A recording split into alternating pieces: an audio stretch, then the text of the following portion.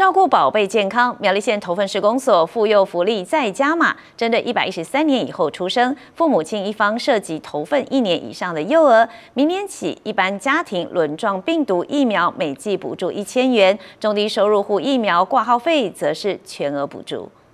希望家中宝贝健康成长，提升免疫力是关键。每一阶段的疫苗更不可少。为协助家户减轻负担，苗栗县妇幼福利再升级。头份市公所将在一百一十三年起推动加码儿童健康补助计划。感受到哈，安尼了太罚金哈，还唔要清好，还为到一本安尼个样的婴幼儿哈，能够在清好的罚金下哈，啊健康茁壮的成长哈。一方面呢，哈也减少诶家长的各样的负担，哦安尼啊公所出。天数哈做全方面的哈，呃各样的防护，所以呢，特别吼要在今年哈，还有点预算哈，做迄个轮状病毒口服液的个疫苗哈，呃来补助诶了的呃后生的爸爸妈妈。补助计划是为了保护婴幼儿的健康，也减轻家长负担。一般家庭轮状病毒疫苗每一剂补助一千元，中低收入户疫苗接种费用以及挂号费是免费全额补助。